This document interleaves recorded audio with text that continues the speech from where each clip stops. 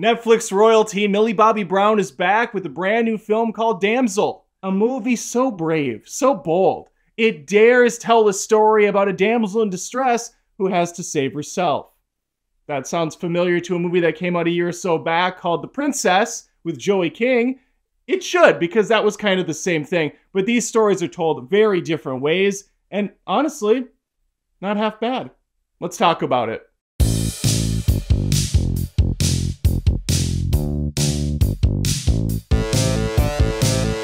This is another Netflix joint, which is not a praise in my book. Oftentimes, these movies are hot trash. Occasionally, they rise above mediocrity to something a little bit special. But for the most part, you're lucky if you get something serviceable at the end of the day. Now, if you like my reviews and talking about some of the stuff that goes to streaming services, which a lot of channels don't do, feel free to subscribe to the channel as I post tons of movie reviews, roasts, rants, live streams, all movies all the time. Would love to have you stick around.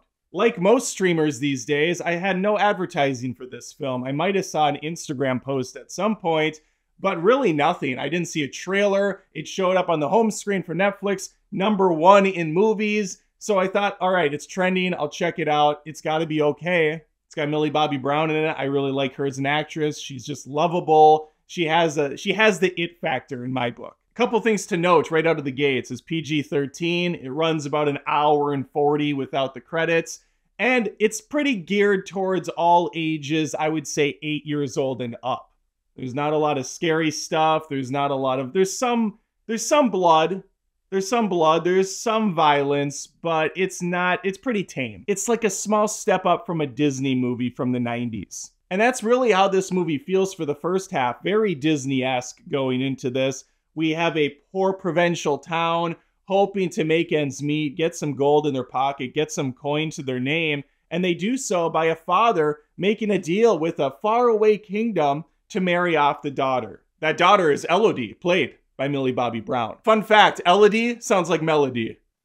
There's nothing more to it. It has, it has no bearing on the movie. Another fun fact and something I did my due diligence on, a lot of research went into this. Millie Bobby Brown is not related to Bobby Brown.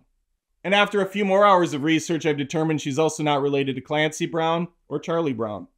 A couple things you should know. This is the kind of information, these are the kind of facts you're going to get from my channel. I call them Adam Fun Facts. So make sure to stick around for those. What the hell was I even talking about? Oh yeah, Damsel, the movie I just watched. Millie Bobby Brown's character, she's married off to this new family, and it becomes very apparent that they have an odd tradition. A tradition of blood sacrifice. And that's where this movie is really going to kick into gear. After about a half hour, we have our character Elodie down in the caverns, and she's going to have to take on a dragon. That's right. That's right. We got dragons in this baby. Now, one or two of you might be rolling your eyes at this point, going, oh, here we go. Another strong female lead, gonna do whatever it takes to win the day, and she doesn't need no man. And it's just this really schlocky writing from Hollywood. And it's not that. It's really not that. I mean, yes, she is a, a strong female lead, but in the right way. I really like the growth of this character. I like how they developed her. It has some pretty cool moments. It's got a, uh, a scene of if you're claustrophobic, there is a section of the movie where she's worming her way through some small crevices trying to get through a cavern or two. I've been listening to a lot of cave horror stories lately on YouTube, people getting trapped down there, so this one hit hard. I, I was having some really, really bad PTSD to those stories, thinking, I hope she gets out of this. There is some tension in the film.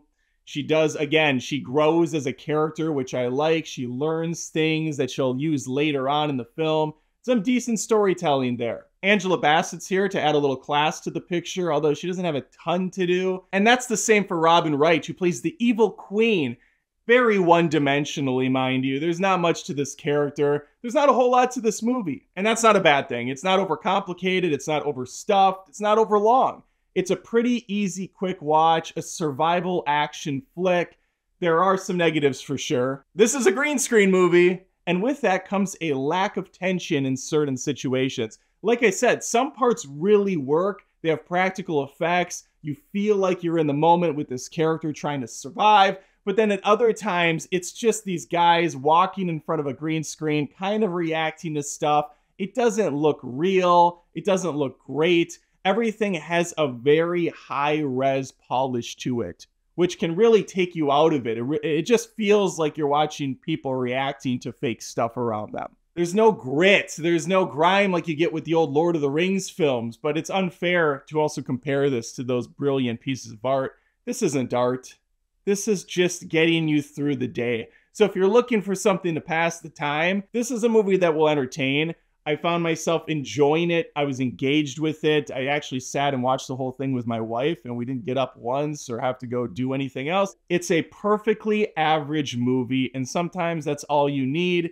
I wouldn't say rush out and watch this, but if you like Millie Bobby Brown, if you like fantasy stuff, if you like the survival angle, you'll get something out of this, I think. Especially if you have kids, they might be interested in this one. Again, I would skew maybe nine, eight, nine, and up. I can also see people completely hating this one, but for me, it was fine. Netflix has set a standard, and that standard is so low. The curve is so low now that something like Damsel comes along and it's almost an exciting breath of fresh air. Going, okay, this is competently made.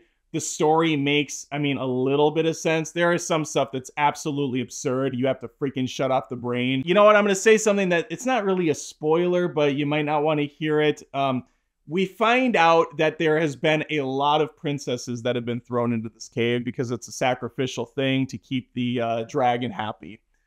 And the fall that these princesses have to do, these newly married women, is hundreds of feet down. They're catching on branches and stuff, which I guess is breaking their fall. But if you see this in the movie, you're going to be like, um, what?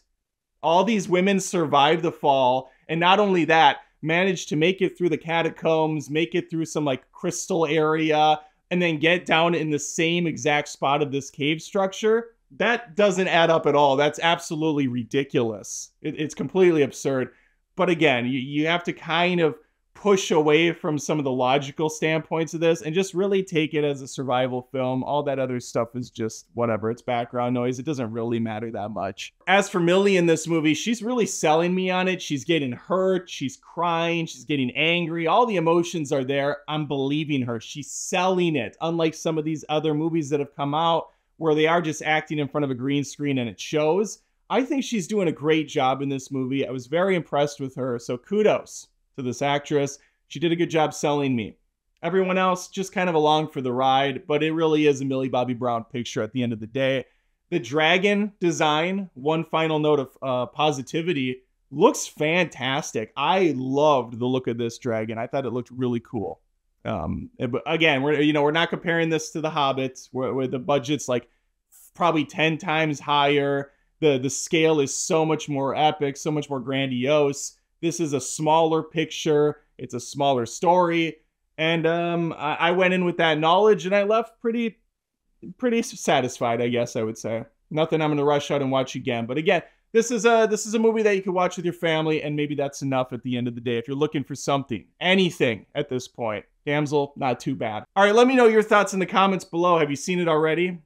Did you like it? Did you hate it? Are you intrigued now to at least give it a watch? Please, please comment like the video. It helps with the algorithm, I think, and subscribing helps just the channel grow because then I then I see people subscribing, they're interested, and they're going to stick around. Maybe stick around. Future ones. Notification bell will help with that. You hit that thing, and then these show up in your feed.